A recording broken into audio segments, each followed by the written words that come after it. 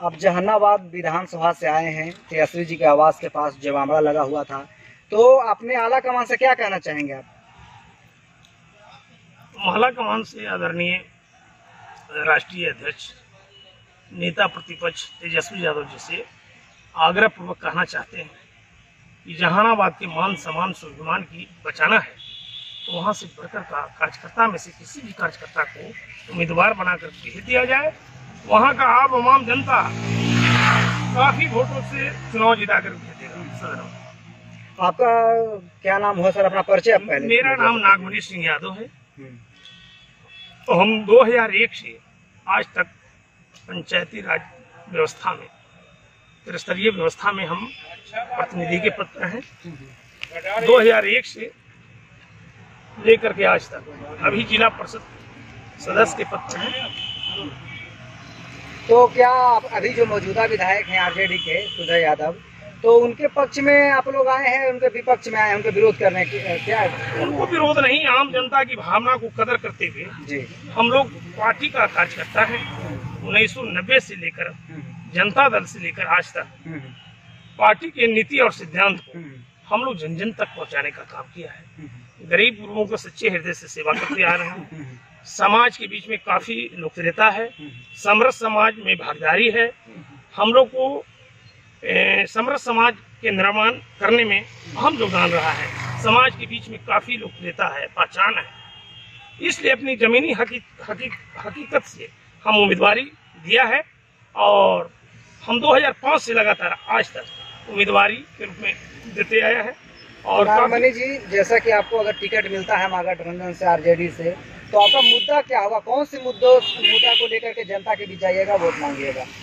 हम लोग का मुद्दा जो है बेरोजगारी है।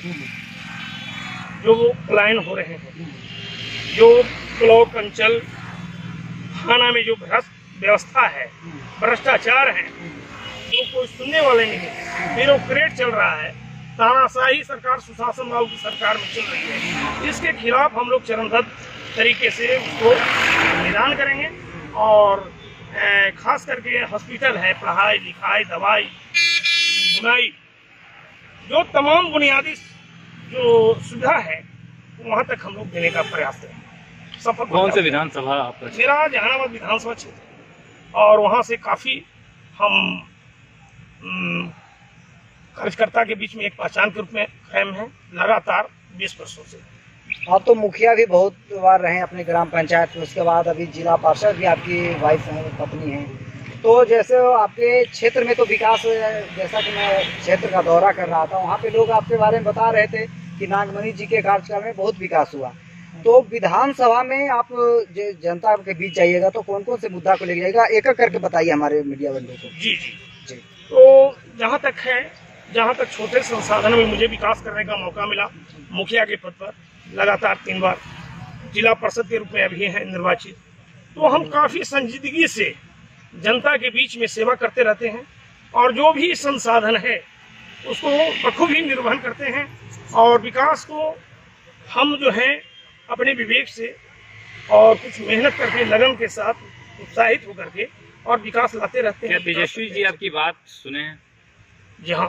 उन्होंने क्या बताया? तेजस्वी जी को कल जो है हम लोग जो है अपनी भावना को अवगत करा दिए हैं जिला की भावना से जो विधानसभा क्षेत्र में जो ए, उनके प्रति सुदय जी के प्रति काफ़ी जो नाराज़गी है उनसे हम लोग जो है अवगत करा दिए हैं और बता दिए हैं कि वहाँ यदि उनको उम्मीदवारी के रूप में पुनः मौका दिया जाता है तो काफ़ी अंतर से चुनाव हारेंगे।